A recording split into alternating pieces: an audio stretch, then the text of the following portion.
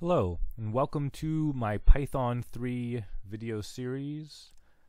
Um, this short video is going to introduce the type of topics I would like to cover in this playlist.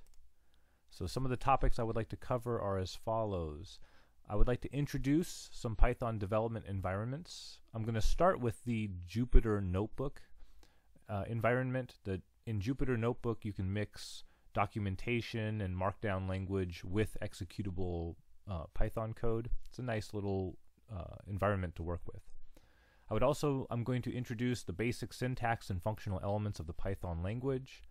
And then I would like to show how you can use Python to do some work. So we'll, we will use different Python modules to do file processing, web scraping, uh, plot data, and image processing maybe, and connect to databases. We'll see where we go with this. Uh, Python is a great little language that I like to use, and um, Hope you can get something out of this.